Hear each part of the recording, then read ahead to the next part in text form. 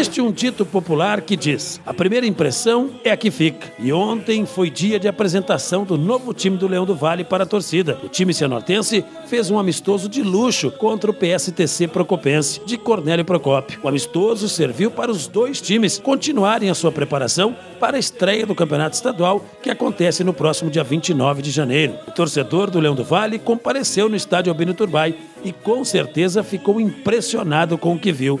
O Leão passou por cima do PSTC 6 a 0. Isso mesmo, 6 a 0. Aos 20 minutos do primeiro tempo já estava 3 a 0. Pelezinho.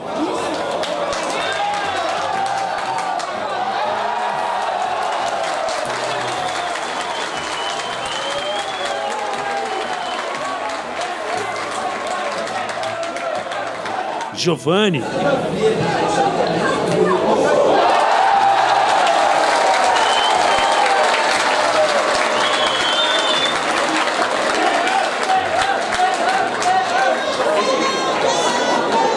Vinícius.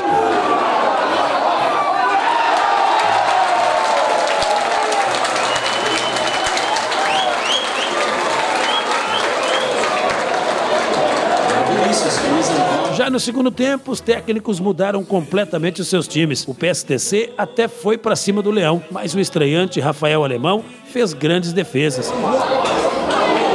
Lucas Pará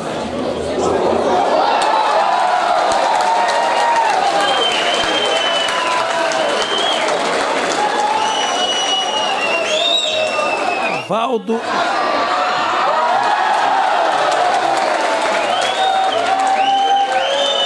E Rafael Xavier.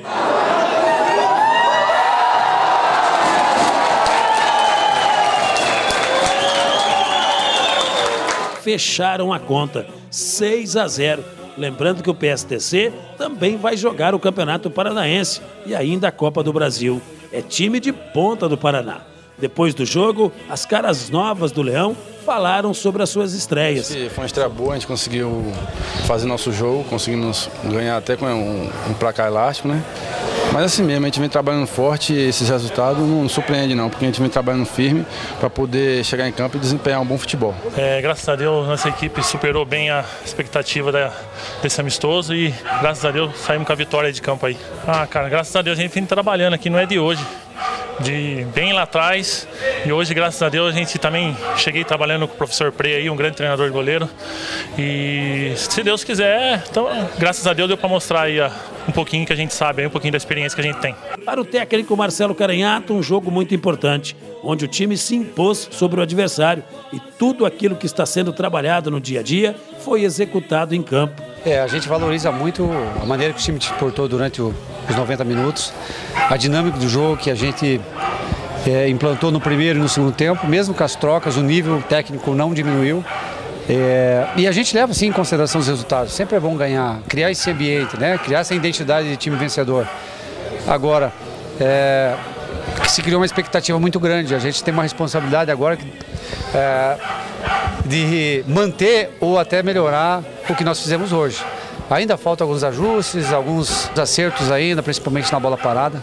Mas o time se portou muito bem. Hoje o time foi próximo do perfeito. O presidente do time, Lucas Franzato, falou sobre o torcedor e garantiu para a torcida o preço mais barato do estado na venda de ingressos para os Jogos do Leão em casa. Contamos com o torcedor dia 29 aqui para lotar o estádio. Né? Até segunda-feira devemos lançar os preços definitivos, depende do alvará do bombeiro sobre a liberação ou não da parte descoberta. Mas o que a gente quer é realmente ter o ingresso mais barato do estado do Paraná, como a gente vem praticando. Né? Então, é, vamos esperar essa liberação para que possamos lançar e vamos lançar também uma, uma oportunidade para quem comprar todos os cinco ingressos do, da primeira fase para que tenha um desconto, né? Que foi uma ideia até de vocês da imprensa. E daqui a pouquinho você acompanha uma linda homenagem ao goleiro Danilo, feita pela diretoria do Cianorte.